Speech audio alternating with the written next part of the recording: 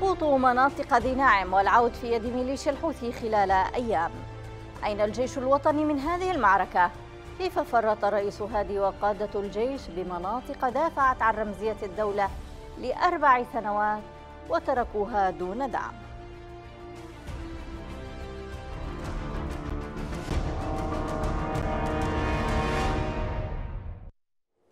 أهلا بكم استطاعت ميليشيا الحوثي التقدم في مناطق عدة تابعة للحكومة وإسقاطها بعد أن كانت عصية عليها لأربع سنوات.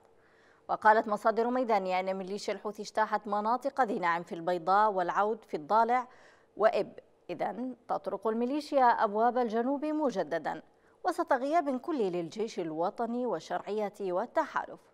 واحتجاجا على هذا الغياب قدم قائد شرطة البيضاء العميد ركن أحمد علي محمد الحميقاني استقالته من منصبه في بيان يختصر قصة القهر والخذلان أين الرئيس هادي ونائبه محسن والمقدشي من كل ما يحصل؟ أين البرلمان الذي ذهب لقضاء, لقضاء إجازته الرمضانية في الرياض والقاهرة قبلها بشهر؟ وأين الرياض وأبو ظبي اللتان تقولان أنهما تدخلتا ضد الانقلاب؟ تقاوم منذ أربع سنوات واليوم تعلن نفاذ مخزون الصمود الذاتي. إن هذه ناعم في محافظة البيضاء. في ظل غياب الدعم لا يمكن لأحد أن يصمد إلى الأبد وهذا ما حصل في ذي ناعم. كسر هؤلاء الرجال بمجهوداتهم الذاتية والقبلية شوكة الحوثيين منذ الانقلاب.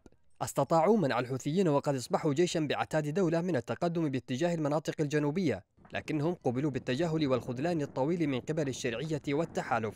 الأمر ذاته حدث قبل أيام في منطقة العود بين محافظتي إب والضالع حيث سيطرت ميليشيا الحوثي على سلسلة جبال استراتيجية بعد مقاومة لسنوات خاضها أبناء المنطقة. إذا الحوثيون على أبواب الجنوب مجددا فيما جيش الحكومة الشرعية غائب عن المشهد الميداني. الأمر الذي يضع علامات الاستفهام لماذا تفرط الشرعية بمناطقها المحررة؟ وتخسر حواضن دافعت عن الدولة ورمزيتها لسنوات وبجهود معظمها ذاتية سرعة سقوط هذه المناطق بيد ميليشيا الحوثي في أكثر من محافظة خلال أيام قليلة يبدو أمرا مثيرا للتساؤل أين هي قيادة وزارة الدفاع وهيئة الأركان؟ وما هي المهام التي تقوم بها الألوية التي يفترض أنها في تلك المناطق؟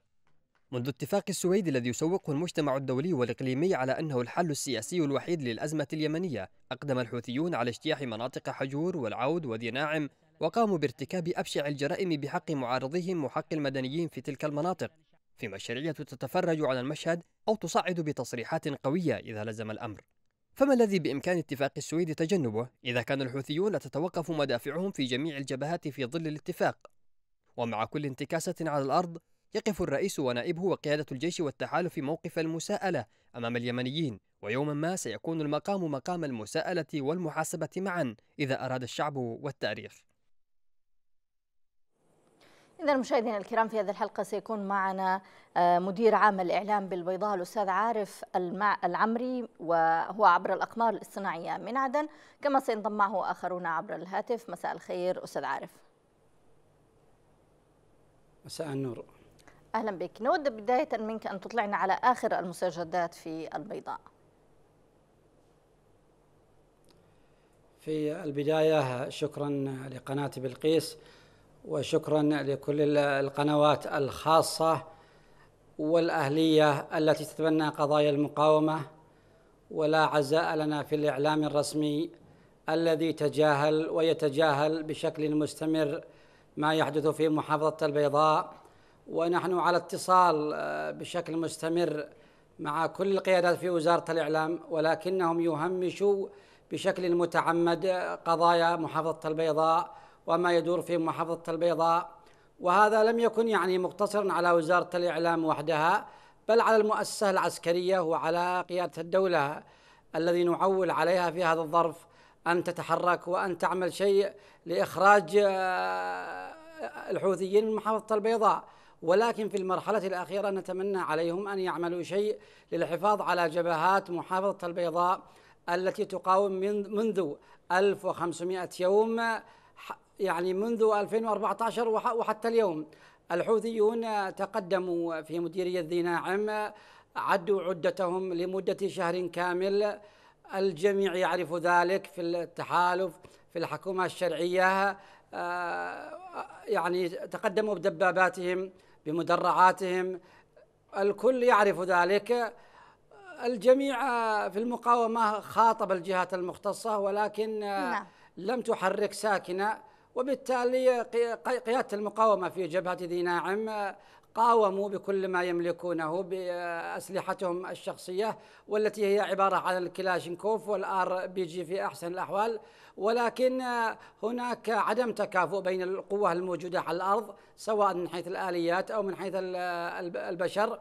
الحوثي يمتلك أربع دبابات يمتلك ما يقارب خمس عربات بي إم بي يمتلك رشاشات 23 حشد ما يقارب 1500 مقاتل الاجتياح جبل حلموس في مديرية ذي ناعم والمقاومون لا يوجد معهم إلا أسلحتهم الخفيفة التي يقاومون بها. صمدوا واستشهد القائد الميداني العميد محمد سالم الصومعي في مديرية ذي ناعم واستشهد قائد جبل حلموس إبراهيم شعوى وسقط أيضا من قبيلة آل حميقان شهيد وشهيد آخر من آل المظفري وبالتالي قاتل هؤلاء الأبطال حتى نفذت ذخيرتهم وحتى استشهد قادتهم وسلموا للأمر الواقع الذي هو سيطرة الحوثيين على جبل حلموس.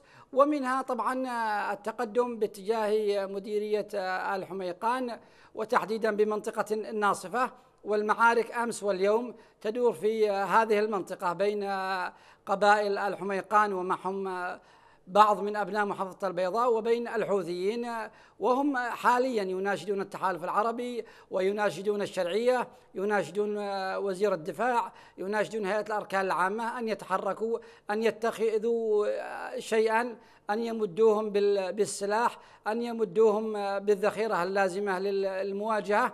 أما هم فهم صامدون في مواقعهم وصامدون في أماكنهم وهم أمام خيارين لا ثالث لهما إما النصر وحماية أرضهم وديارهم وإما الشهادة وهذه ما يريدونها أيضا إن لم يتحقق النصر.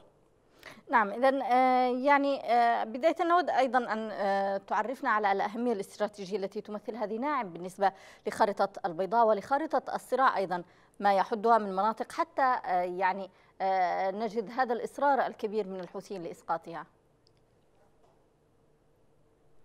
مديرية ذي ناعم ومثلها مديرية الزاهر ومديرية الصومعة ومديرية قيفة هذه مناطق تمثل للشرعية أولا ولأبناء البيضاء ثانيا أنها جبهات مقاومة صمدت أكثر مما لم تصمد أي جبهة أخرى في الجمهورية.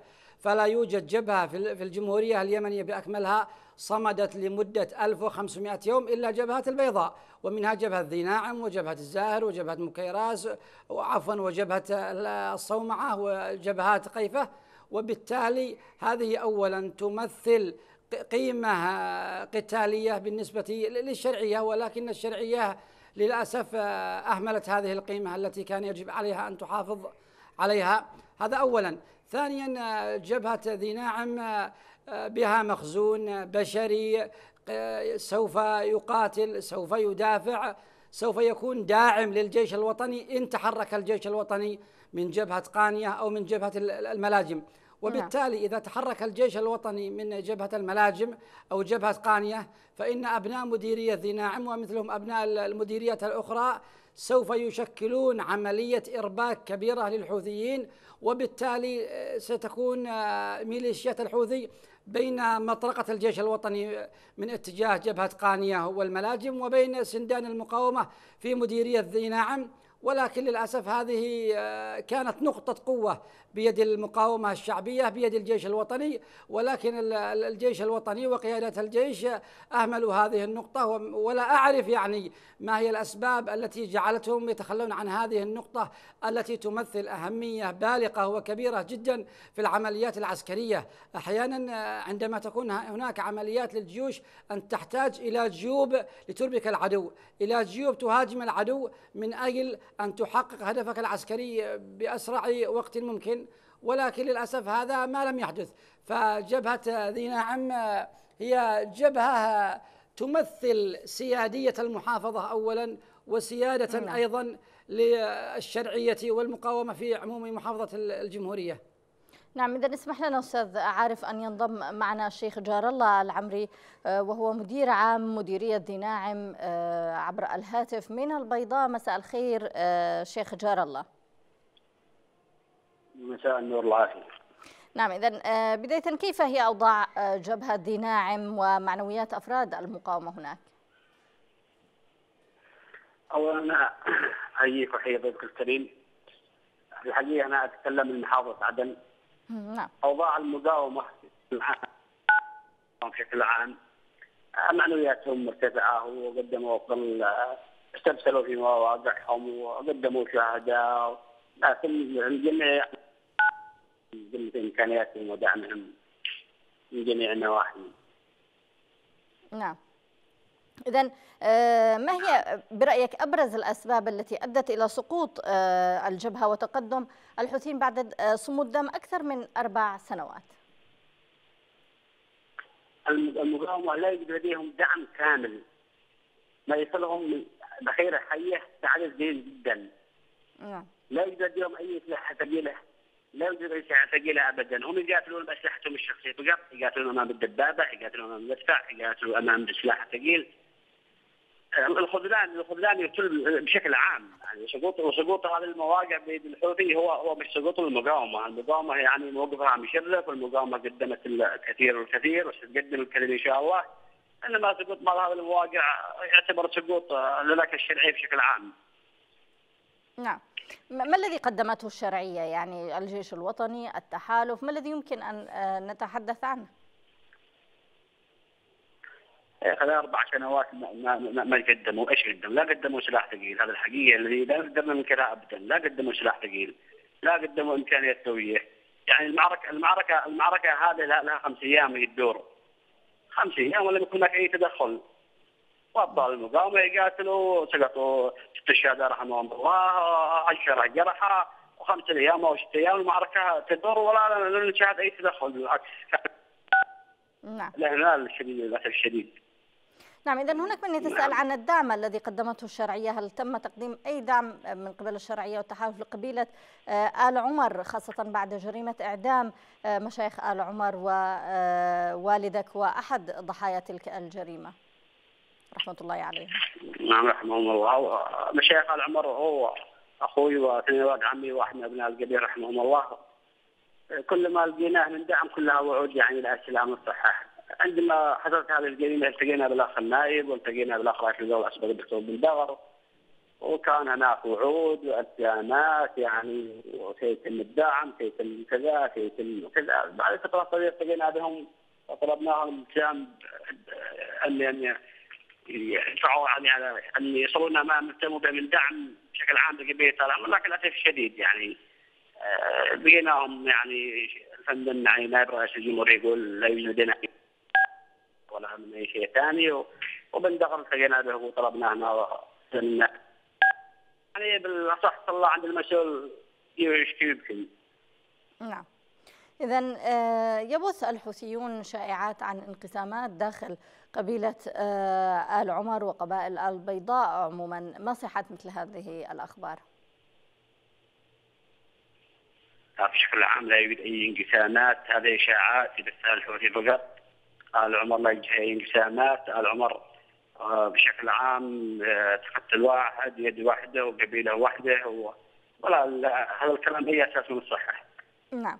ماذا عن الأوضاع الإنسانية؟ هل هناك أي مساعدات تأتيكم من قبل مركز الملك سلمان أو من أي آه، يعني مواد غاثية تصلكم من أي منظمات أو أي من جهات حكومية أو غير حكومية؟ في الحقيقة في خلال الاربع سنوات الماضية كلها آه، مركز مستلمان قدم ما يقارب 1000 سلة ذي نعم قبل سنتين. نعم. آه الكويت قدمت آه الكويت قدمت عبر الجمعية آه قدمت دفعه واحد فقط، دفعه مره واحد تقريبا في حدود في أربع سنوات هذا الذي وصلنا فقط. نعم. إذا لو تحدثنا عن أبرز نعم. احتياجاتكم اليوم في الجبهة لاستعادة المناطق التي سقطت بيد الحوثيين ماذا ستكون؟ احتياجات الجبهة بشكل عام الجبهة هي إلى الآن هي الآن آه، حسب رواسي الجمهورية تعتبر هي هي تابعة للجيش وقد آه، ترقموا يعني ترقموا وقد اعتمدوا لكن للأسف الشديد هم محتاجين جميع الأسلحة الثقيلة يعني لا يوجد الأسلحة الثقيلة لا يوجد لديهم أي إمكانيات لا يوجد كل ما يقاتلوا فيه سلاحهم الشخصي فقط. نعم. إذا شكرا جزيلا لك الشيخ جار الله العمري العمري آه، كنت معنا عبر الهاتف من آه، عدن عودة إليك أستاذ عارف. أستاذ عارف آه، يعني لو توقفنا عند مسألة الشائعات التي يقوم الحوثيون ببثها لأجل إرباك الصفوف بطبيعة الحال حول خلافات تقوم يعني واقعة بين قبائل في البيضاء. آه، أود أن تحدثنا عن دور آه، الإعلام أيضا آه، لمجابهة مثل هذه الشائعات والتعزيز يعني معنويات الجيش أو المقاومة التي تقاوم هذا المد الحوثي.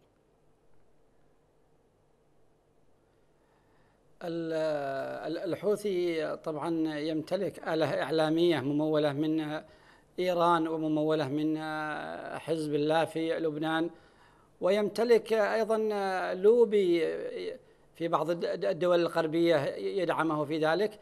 بينما نحن في الشرعية كما أسلفت لك نعاني الأمرين سواء في الجانب الإعلامي أو في الجانب العسكري. لا أدري كيف ينظر القادة في وزارة الدفاع إلى محافظة البيضاء بالرغم أن هذه المحافظة الكبيرة العريقة بصماتها واضحة ودورها واضح ونضالها واضح ومواقفها مشهورة وبالتالي آه، لن يتوقف أبناء محافظة البيضاء عند سقوط جبهة ويستسلموا لا أبناء مدير مثلا أبناء مديرية ذي ناعم على سبيل المثال موجودون الآن يقاتلون في محور كتاف في صعدة. كانوا موجودون أو موجودين يقاتلون في آه، مريس يقاتلون أيضا في آه، مأرب وصرواحة أبناء محافظة البيضاء سيظلون آه، مع المقاومة أينما كانت المقاومة. وسيظلون جنودا للجمهورية اليمنية. أينما رفرف علم الجمهورية اليمنية سيقاتلون دفاعا عن الجمهورية اليمنية في صعدة سيقاتلون في مأرب سيقاتلون في الجوف سيقاتلون في عدن. وبالتالي لا يهمهم المكان بقدر ما يهمهم الاستمرار في المقاومة. نعم. وبالتالي بالعودة إلى مجال الانقسامات في قبيلة أو في مديرية ذي ناعم لا يوجد هناك انقسامات الحوثي يحاول أن يسوق الوهم وأن يبرر للآخرين أن سقوط هذه المواقع كان نتيجة انقسامات في مديرية ذي نعم ولكن الواقع غير ذلك إطلاقا. كان سقوط هذه المواقع كما أسلفت لك في البداية هو عدم تكافؤ القوة العسكرية الموجودة على الأرض. نعم. وأيضا آه، الخذلان الذي للأسف الشديد الذي آه، نعم الذي لقته المقاومة. نعم. إذا آه، لو حدثنا عن آه، مناطق سيطرة المقاومة والجيش آه، الوطني الآن وما الذي بيد الميليشيا؟ ما هي المناطق؟ طبعا الميليشيات الحوثية سيطرت على جبل حلموس وهذا هو جبل استراتيجي مهم يفصل أو يطل على مديريتين هما مديرية الزاهر ومديرية ذي ناعم. وبالتالي السيطرة على هذا الجبل آه، استطاع الحوثيون من خلاله أن يسيطروا على ثلاثة أو أربعة مواقع كانت بيد المقاومة. طبعا المقاومة انسحبت منها حفاظا على الأرواح لأن مواقعها مكشوفة من جبل حلموس وبالتالي الحوثيون الآن تقدموا باتجاه الناصفة في مديرية آه، آل حميقان. والآن آه، تدور المعارك في هذه المنطقة في منطقة الناصفة. وأنا أريد أن أوضح يعني شيء مهم جد جدا. فضل. وهو أن أبناء محافظة البيضاء من من جميع القبائل سيقاتلون في الناصفة وسيقاتلون في يعني في في هذه الأماكن التي يتواجدون فيها حاليا. هم ليست لديهم كما يروج الحوثيون مسألة جنوب وشمال أو مسألة شرق وغرب. هم لديهم مسألة عقيدة مقاومة وعقيدة يمن اتحادي يقاتلون في أي مكان. وبالتالي أبناء محافظة البيضاء سيقاتلون دفاعا عن أي محافظة في الجمهورية. هم قاتلوا في الماضي منذ أربع سنوات وهم يدافعون عن محافظة لحج ويدافعون عن محافظة أبين ويدافعون عن محافظة شبوة ويدافعون عن محافظة مأرب. ويدافعون عن أكثر من آه، محافظة. وبالتالي هم هم درع لهذه المحافظة المحافظات. فإذا خذلت محافظة البيضاء ومقاومة محافظة البيضاء من قبل القيادات الشرعية فبالتالي هذه المناطق ستتعرض لطعنة كبيرة من الحوثيين. وهذا ما لا يرتضيه أي بيضاني إطلاقا ولا يمكن نرضى به في محافظة البيضاء إلا على سيل ونهر من الدماء. فالجمهورية بالنسبة لأبناء محافظة البيضاء مسألة عقيدة ومسألة حياة حياة أو موت. نعم. إذا لو سألتك أخيرا أستاذ عارف يعني آه، تتحدث عن تقدمات لميليشيا الحوثي عن سيطرتهم لجبل حلموس عن مناطق واضحة آه، تم السيطرة عليها وتم التقدم فيها رغم آه، يعني هناك حشود لميليشيا الحوثي متواصلة من صنعاء ومن دمار إلى البيضاء. هل يسمع على الأقل طيران تح... يعني تحليق طيران التحالف محاولة قصف أي شيء من هذا القبيل أم أن الموضوع وكأنه خارج حدود الجمهورية اليمنية؟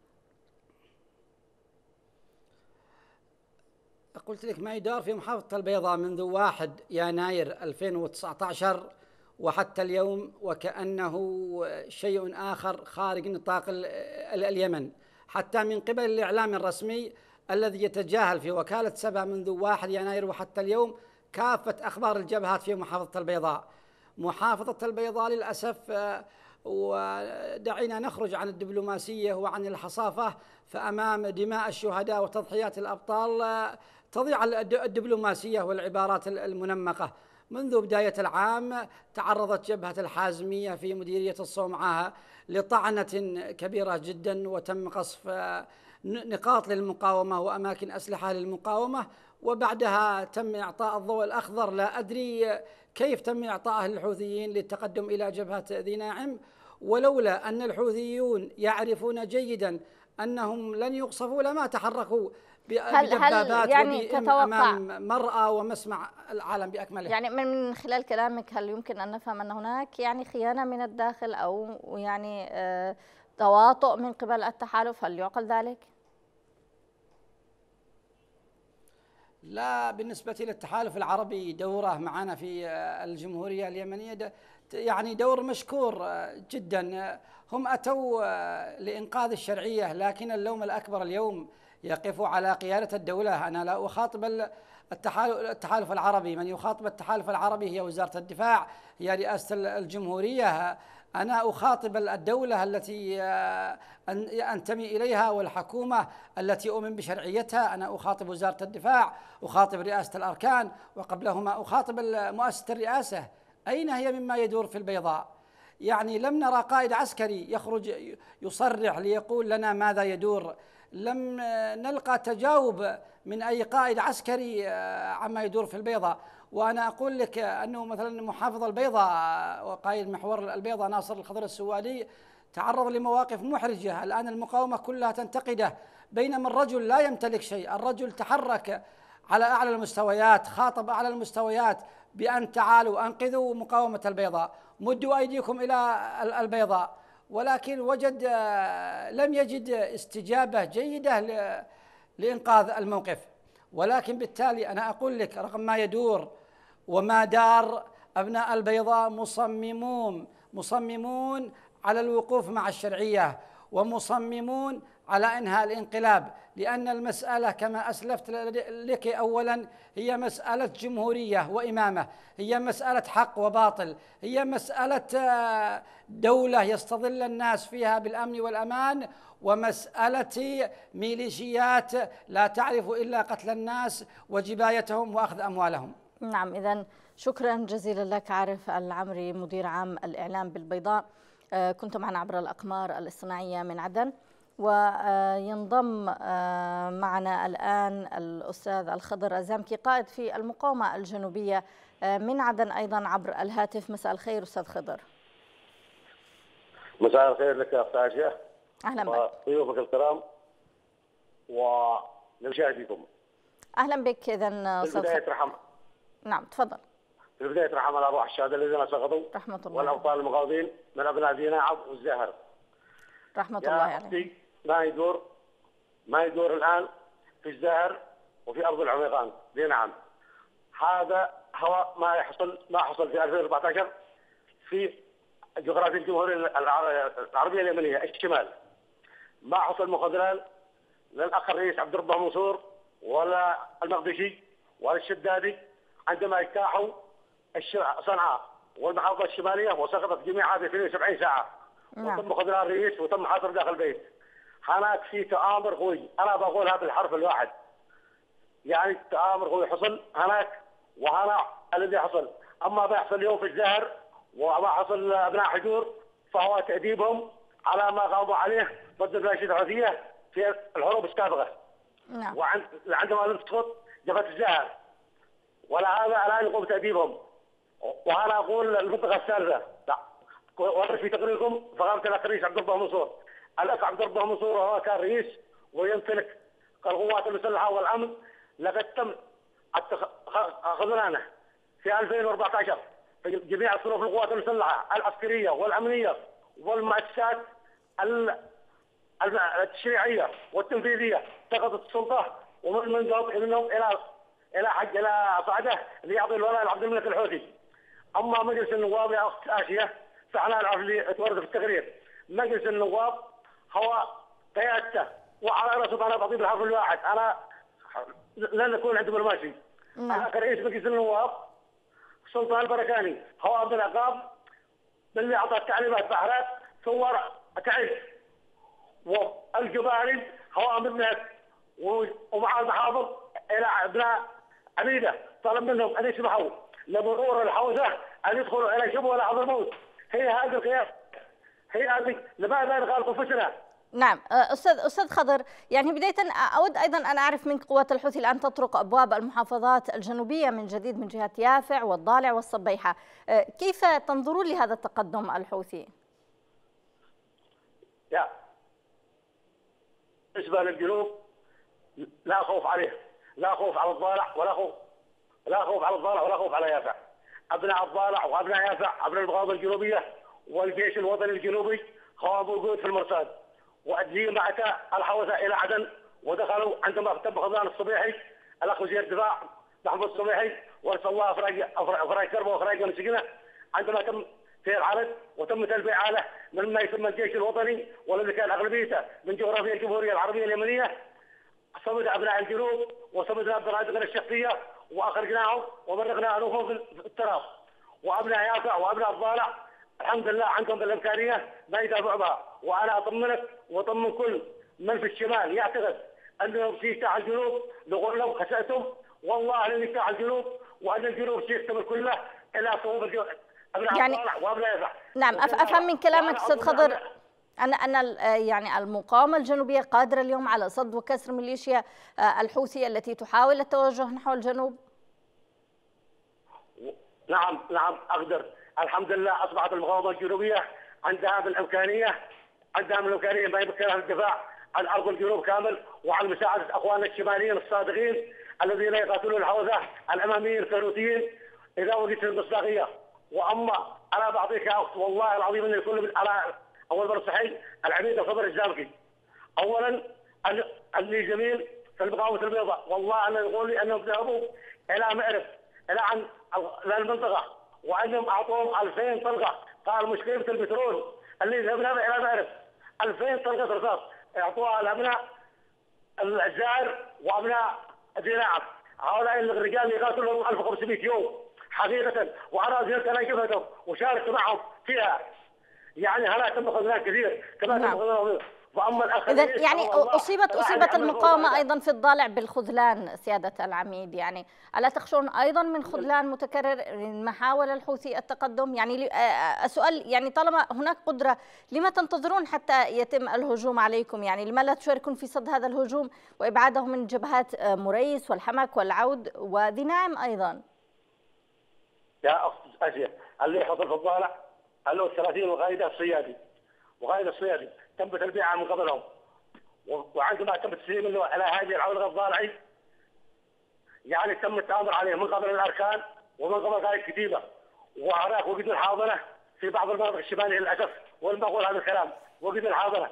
لكن في الجنوب لن يجدوا الحاضنة ولا يجدوا يأويهم ولا يجدوا حتى من يتمثل في اوجاعهم لن يجدوا إلا النار والمحرقة.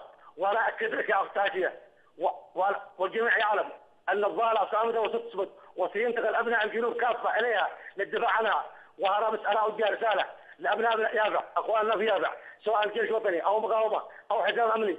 عليكم بالوقوف إلى جانب أخواننا الحميقان وصدهم عن منطقة عن هذه المناطق. لا يعيشوا فيها فساد.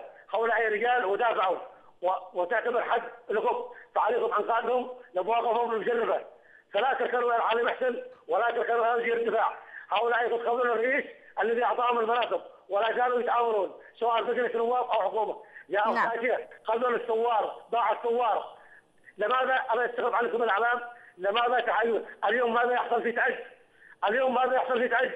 لابناء العتاد القديمه الذين وقفوا والذين اتوا وهاجروا الحوثيين وسلموهم اليوم هم اللي يضربوا الأبطال. نعم إذا شكرا جزيلا لك سيادة العميد الخضر الزامكي قائد في المقاومة الجنوبية. كنت معنا عبر الهاتف من عدن عودة آه، إذا إلى آه، استكمال هذه الحلقة مع ضيفنا الذي انضم معنا عبر الأقمار الاصطناعية الأستاذ فؤاد مسعد المحلل السياسي. من عدن أيضا مساء الخير أستاذ فؤاد. مرحبا ومساء الخير لك وللسادة المشاهدين. أهلا بك، آه، اذا بداية ما هو تحليلك لما يحدث أستاذ فؤاد؟ يعني ما الذي جرى الجبهات الشرعية بعد سقوط حجور تتساقط تباعا من مريس إلى العود إلى الحمك إلى ذي ناعم؟ آه، في الحقيقة يعني أن ما حدث في هذه الجبهات يعني آه، ربما يعني آه، بات أكثر آه، وضوحا. يعني لم يعد بحاجة إلى كثير من الجهد في تتبعه وفي قراءته. واضح أن الحوثيين بعدما أبرموا اتفاق ميناء ومدينة الحديدة تفرغوا للجبهات استفردوا يعني بال بهذه الجبهات التي ظلت الحكومة الشرعية تنظر لها يعني باعتبارها جبهات ثانوية. الحوثيون أولا صبوا كل جهودهم البشرية والمادية والإعلامية في حجور وبعدها في مريس والعود. والجبهتين هذه يعني أقصد مريس والعود هما يعني يشكلان خطا واحدا متوازيا الهزيمة أو الضعف آه، في أحدهما تعني آه، إرهاق وإضعاف الآخر. الحوثيون يعني استفادوا من حالة التراخي آه، التي أصابت أداء الحكومة والجيش الوطني سواء فيما يتعلق يعني بأداء الجبهات التي يبدو أنها ركدت. استفادت أيضا من حالة الخلافات والصراعات التي أصابت كثير من المناطق والجبهات التي يفترض أنها جبهات محررة وكان يبدو وكان يعني على الحكومة أن تظهرها بمظهر آخر بأن تكون أكثر تماسكا. وهذه للأسف لم تتحقق. هذه يعني الثغرات استفادت منها ميليشيات الحوثي في اختراق آه، يعني عدد من الجبهات وتحقيق انتصارات متتالية. نعم اذا آه، الجبهات التي سقطت عادة يعني ظلت صامدة حوالي أربع سنوات يعني برأيك آه، من يتحمل سقوطها بهذه السهولة خلال آه، أيام؟ يعني على الأقل ربما حجور قاومت فترة طويلة ولكن عمليا المقاومة تكون وحيدة تماما من أي دعم سواء في حجور أو في هذه المناطق التي تسقط وكأنها تقاتل في منطقة غير اليمن. آه، لا شك أنه يعني الوضع يختلف بين آه، حجور آه، من جهة وبين مريس والعود من جهة ثانية، حجور كانت في منطقة شبه مغلقة وشبه معزولة وربما يعني أنه لا توجد لها عمق يمكن ان ان يشكل يعني قاعدة للإمداد. الوضع في مريس وفي العود مختلف جدا. فخلفيه المنطقتين أو الجبهتين مناطق محررة حتى عدن. ويعني بالتالي الوضع في في هذا المقارنة تبدو مختلة. لكن لا نستطيع الجزم أن هناك يعني فيما يتعلق بدم في عفوا أستاذ فؤاد يعني حتى حتى أوضح لك أنا أنا لم أقارن. يعني لم أقارن ولكن أنا أتساءل. يعني آه، امتدت مقاومة حجور دون أن آه، يعني آه، يسأل عنها أحد. في هذه المناطق التي تمت فيها المواجهات يعني أن يتم السيطرة على جبل حلموس بكل يعني أهميته الاستراتيجية وإطلالته على بعض المناطق ولكن أيضا دون أي دعم. أنا أتساءل عن يعني انعدام المسؤولية إن صح لي القول أمام هذه الجبهات التي تقاتل منفردة. بالتأكيد ويعني الجميع يعني يتفقون على أنه هناك خذلان واضح ضعف في أداء الحكومة انعكس أثره على أداء الجبهات هذه الجبهات الثلاث العود مريس الحميقان هذه جبهات تقاتل من منذ العام 2015 نعم. نعم. يعني تقاتل ويعني وظلت تواجه إجرام وانتهاكات وهجمات. ميليشيات الحوثي وقوات صالح. يعني هي واجهت الحوثيين وهم كانوا دولة. والغريب أنها اليوم تتراجع. هذه الجبهات بعدما تحولت موازين القوى وبعدما صارت هذه الجبهات تتبع ما يفترض أنها حكومة وأنه هناك جيش وطني وتحالف عربي في المقابل اختل هذا التوازن على ميليشيات الحوثي وصارت ميليشيات يعني معزولة و يعني مجرمة محليا ودوليا. هذا هو الذي يعني يثير التساؤل ويجعل يعني التساؤل يعني أكثر الحاحا. خاصة أنه كانت هذه الجبهات حققت تقدم. إذا ما نظرنا إلى جبهة مريس وصلت إلى إلى أجزاء من مدينة دمت في نوفمبر الماضي. جبهة حمكة العودة التي تراجعت في الأسبوع الأخير كانت حققت قبل أكثر من 20 يوم تقدم وصل إلى شرق آه، محافظة إب وكان هناك تهديد على مناطق شرق وأعلى آه، المدينة مدينة اب نفسها بالسيطرة. يعني كان هناك يعني مخاوف لدى الحوثيين من إمكانية السيطرة آه، على مرتفعات وجبال الشعر وبعدان. وبالتالي هذا يعني التراجع الذي حصل. واضح أن هناك خذلان آه، لم يكن هناك إسناد آه، يعني مناسب وموازي لحجم التدفق. يعني الطوفان البشري الذي عززت به ميليشيات الحوثي إلى هذه الجبهات دفعت بالكثير من مقاتليها سواء المقاتلين المدربين أو من كانت تأخذهم مجندين وأغلبهم أطفال يعني بالنظر إلى الجثث التي يتم يعني التعرف على على بعضها بعضهم يعني من الأطفال ومن أطفال المدارس ومن الذين يأخذونهم بالقوة. وبالتالي فإن هذه القوة البشرية التي دفع بها الحوثيون إلى إلى المحرقة لم يكن هناك قوة توازيها من الناحية يعني من من حيث السلاح اللازم والسلاح الذي يعني يكون قادر على التصدي لها. أما من من ناحية الإعداد فهناك أعداد من المقاتلين وهي على استعداد ان ان تظل تقاتل حتى آخر رمق من أبناء المناطق نفسها أبناء مناطق دمت ومناطق مريس وكذلك مناطق العود وكذلك الحال في محافظة البيضاء الذي كان ينقصها ولا يزال ينقصها هو السلاح الثقيل وحل تقدم يعني أو حصلوا على هذا الدعم فإنهم قادرين على تغيير المعركة. نعم، هناك من يتحدث أستاذ فؤاد عن آه، آه، آه، التمهيد لسيناريو باتفاق ما يقضي بسيطرة الحوثيين على مناطق ما قبل 90 أو الحدود الشطرية وإبقاء المناطق الجنوبية تحت سيطرة الانتقالي وأن ما يحدث الآن من سقوط لكثير من الجبهات دون أي دعم حقيقي هو ترجمة لهذا الاتفاق ما رأيك؟ باعتقادي أنه لا يوجد آه، يعني آه، اتفاق آه، يعني من هذا النوع لأنه يعني لا يمكن لعاقل أن يثق بهذا النوع الهش من من الاتفاقات. حتى ومن افترضنا أنه سيمثل الجنوبيين لا يمكن أن يعني أن يقبل بان يعني أن يتم تصفية أو تمهيد الطريق.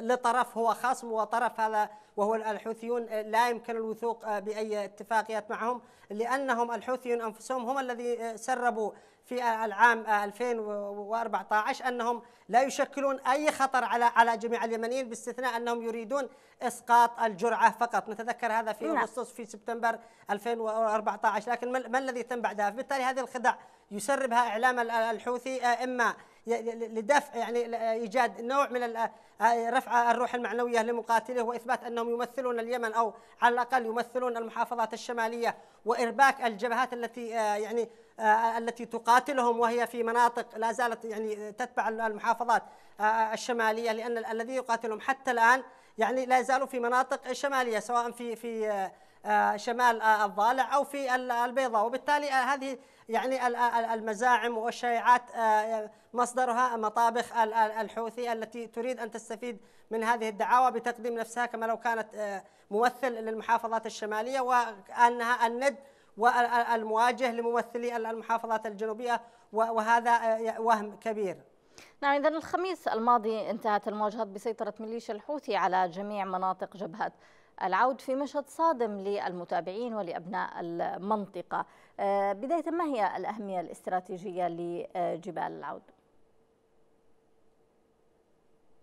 الأهمية الاستراتيجية بالنسبة يعني للقوات الحكومية أو للجيش الوطني كانت تتمثل في أنها كما ذكرنا في وقت سابق أنها تمثل يعني مقدمة لتحرير محافظة إب على اعتبار أنها يعني في حال تقدمت في العود ستليها إلى مديريتي السدة والنادرة شرقا والسبرة غربا. وبالتالي فهذا يشكل يعني تهديد للميليشيات في محافظة إب التي تشكل لهم حاليا يعني مرتع يعبثوا به ويرتكبون فيها الكثير من من الانتهاكات ويستفيدون من هذه المساحة الواسعة التي تشكل خاصرة اليمن.